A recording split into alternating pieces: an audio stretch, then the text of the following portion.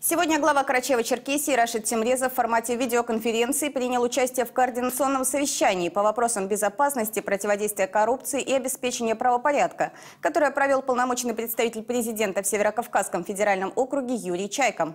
Обсуждались вопросы организации мониторинга, анализа и контроля за эффективностью реализации национальных и федеральных проектов на Северном Кавказе, а также рассматривались итоги реализации мер по предупреждению и пресечению выявленных правонарушений.